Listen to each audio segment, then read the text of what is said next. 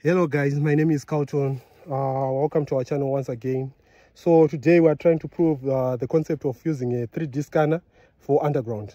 So we have an adit here. Let me show you. We have an adit here. Temporary pegs that we have put using our differential gps this is one of the pegs and this is the back side and the foresight then we have actually installed some pegs underground from here. So we're going to use an adit. This is a small adit. So here i'm going inside the adit. So hopefully you'll be able to see. So uh, what we are going to do is uh, we have some pegs that were done using a total station. We are going to follow through and uh, mark the pegs or pegs which are on top. Uh, right now i can't see where we put it but then uh, we'll put the uh, spray paint there so that you will be able to see.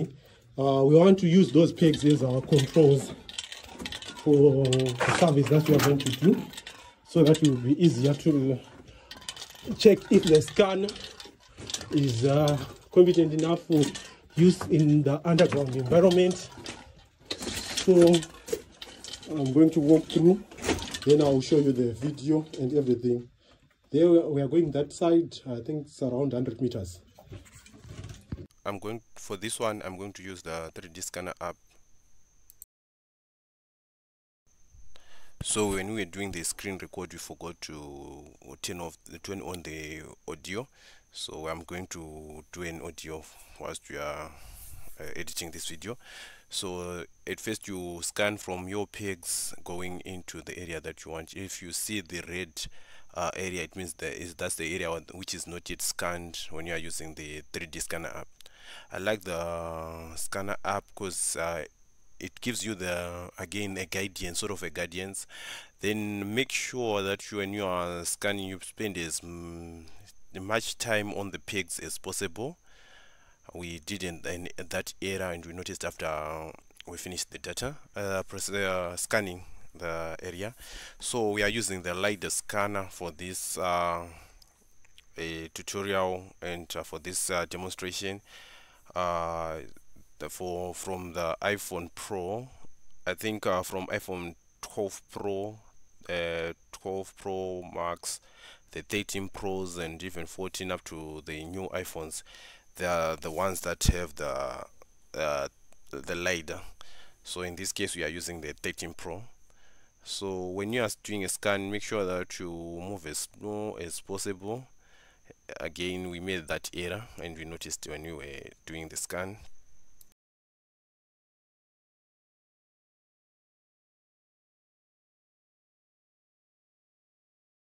then make sure that you get as much details as possible and make sure that you move your camera around uh, gently so that you won't uh, miss any spots so I actually missed some spots when, are, when I was doing this scan. So you actually see on the end result that there are some blank spaces on the on the scan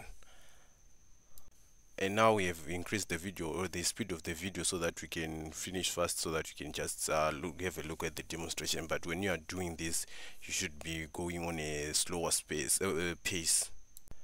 Then also when you are on your peg or reference points make sure that you spend as much time as possible so that you can get more details. We actually made the same error when we were doing the scan and we ended up uh, getting less details on the pig that will make it a bit harder for you to identify the pigs. But other than that everything should be fine and it's easy to use the scan after you finish you just save your data. It might take some time depending on uh, the size of your scanned area. Then you should be able to process the data afterwards. They need to give you a window like this for you to process. Then you just uh, process and wait for it so I think right now it's processing. They need to tell you to process and give you some time. It depends with the quality that you want. So in this case I'm going to use uh, HD and just press start then wait for it to process.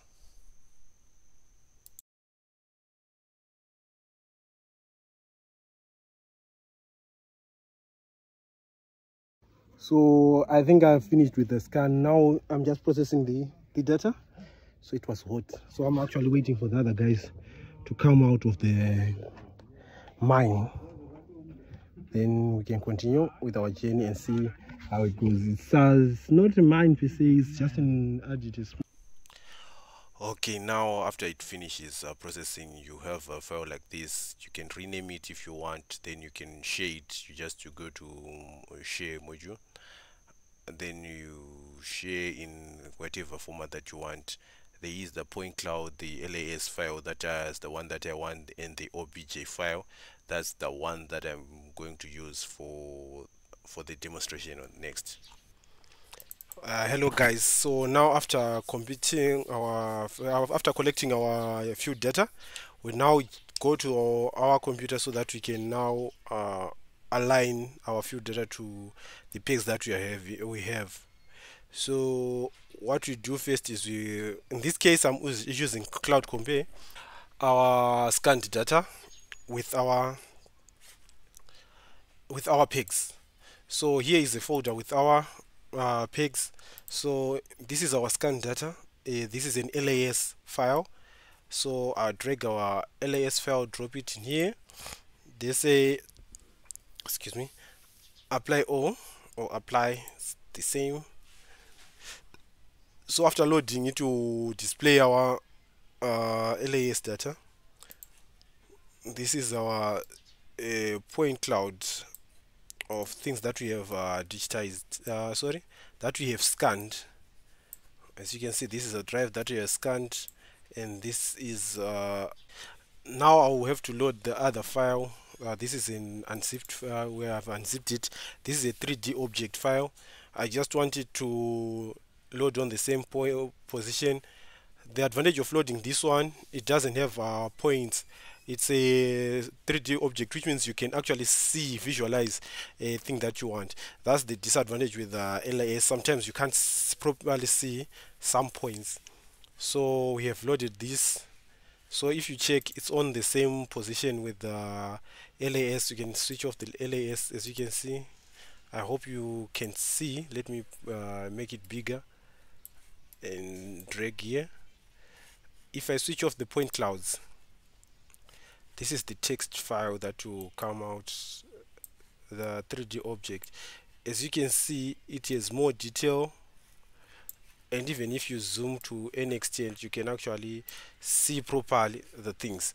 So that's why I like this one. But I want to georeference both of them. So I'll minimize again. Then uh, load uh, my pegs these are my pegs. Again drag and drop. This one is a CSV file uh, with the these are the peg names uh, the y and the x values. So I'm going to change here y then change here x then you just say apply. Then it tell you the shift then you just say yes. So as you load uh, I hope you can see so here you can select maybe the text uh, textured output. Then you want to make it a view that you want. So firstly you highlight it. I want to make it uh, I want the top view. So the views you can select here. So judging from the information that you have you can now zoom in as I'm doing so some areas some things I'm going to make them a bit faster. This is not the view that I want. I want uh, the top view. Again you check if it's the correct view. Yes. This one is the view that I want. The top view. The reason why I want the top view just make sure you check with the data and see which one is the top view now the reason why I want the top view is because of the we have some pigs. I hope you can see them. This is one of them one and the other one here. Our scan is not that perfect so don't worry. So anyway you select the points uh, these files these three files one two three.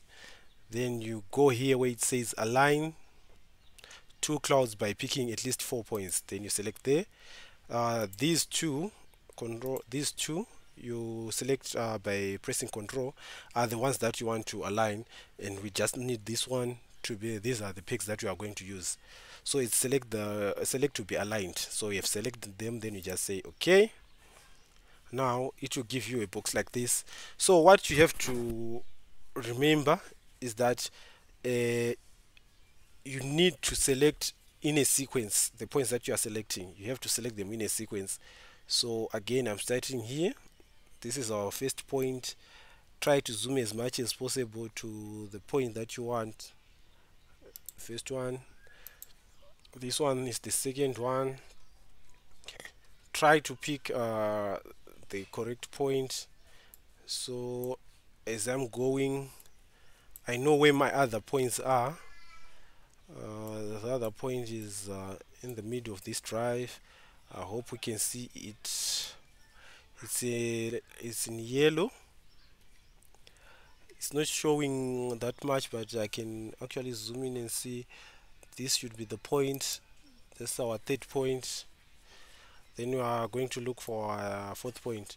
So you can actually if you right click uh, you can drag like this like what I'm doing.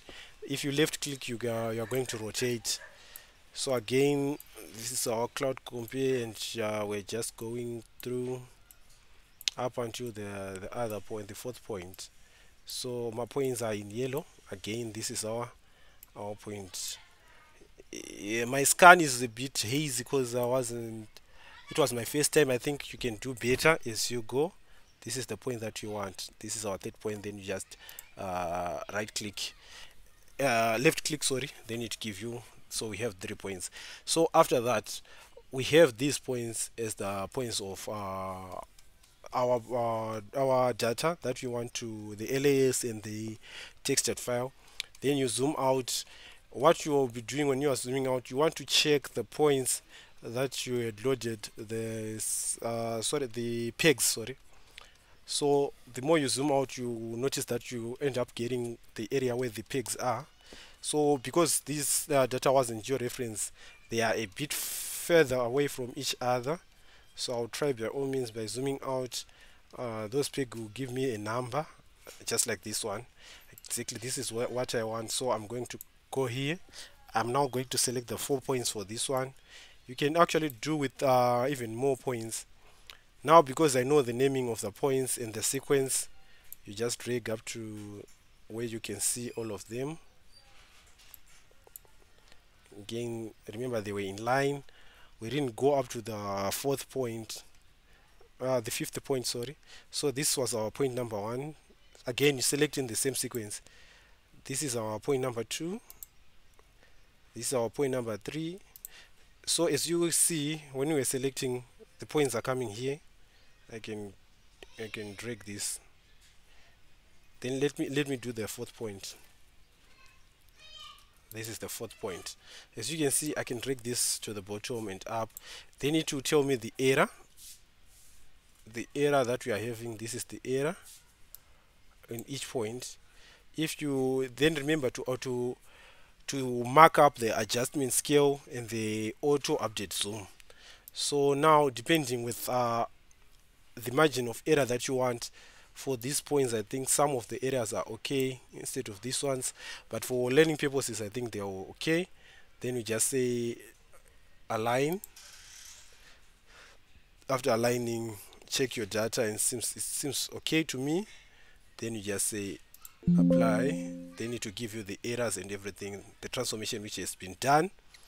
Then okay.